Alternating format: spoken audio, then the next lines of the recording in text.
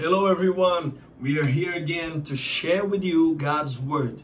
And I'm all excited because I have something to tell you an event that happened with me and my kid uh, some 10 years ago. 10 years ago, David, my son, was only six years old.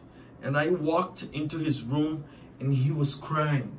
He was sitting in front of the computer and he was with a control playing uh, a video game and he was crying. I said, why, why are you crying, David? And he said, I can't manage to go to the next level.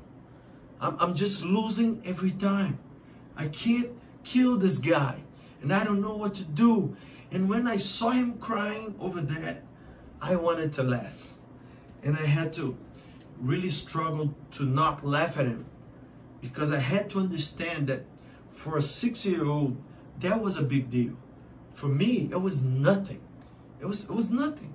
So I sat in his bed and I said to him, do this, do that. And I coached him through that level. And he did exactly what I told him to do.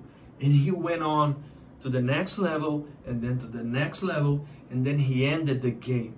He was all happy and he was hugging me and it was awesome. That was in the morning. At night, I was going to pray, just my normal, usual prayer at night. And I was praying and I started crying. I was crying over a big problem that I was facing.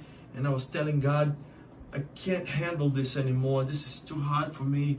And what are you to do? And I'm losing my sleep over this. And all of a sudden, I heard clearly in my heart the voice of the Holy Spirit saying, Son, do you remember this morning when you walked into your son's room and you saw what was what was happening and you wanted to laugh at your son's problem? Do you remember that? I said, Yes. And Jesus said to me, I'm almost almost doing the same here. And I said, Why? And he said, Because to me, nothing is impossible. You can handle me a dictionary, and I will look up the word impossible, and I will not, never, ever understand that. Understand this, son. Impossible is for you, not for me.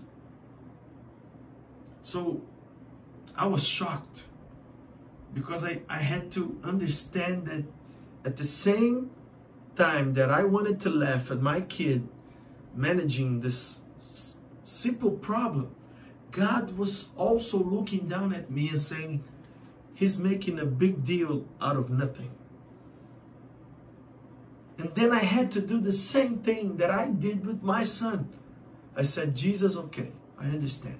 Please sit on my bed and tell me what to do. Let me tell you this Jesus will not get the control from your hands. He wants to teach you how to make good decisions, how to equalize your mind, and how to reassign and reaffirm your faith in Him. That was just what I had done with my son David in the morning. God wants you to go to the next level, and He wants to help you. He wants to help you. But to Him, nothing is impossible. He feels like laughing at our problems. Not because he's mean or he doesn't care, but because it's so little for him. It's so little. He gave us his only begotten son. What could be bigger than that? What could be worse than that for God? He created all the continents and the seas and the skies and everything. What is a problem for God? Nothing is. So many times we come crying before Him. God, I can't go to the next level. This that I'm living, that that I'm living is just so overwhelming. And God wants to laugh. He wants to laugh. Because He can do all things. He just blinks and everything is vanishes. vanishes. You have to understand this. Jesus wants to help you to go to the next level. Do you want that? Do you want that? Father God, I bless everyone. And I pray that everyone hearing me now we'll see the big picture and we'll stop crying over something that you will do easily. Help us to understand that what is impossible to us is completely possible to you. I bless everyone watching me in Jesus' mighty name. Amen. Amen. Amen. Amen. May God bless you. Send this video to people who understand English and also use this video to practice your own language in English and be a blessing to a lot of people. God bless you all.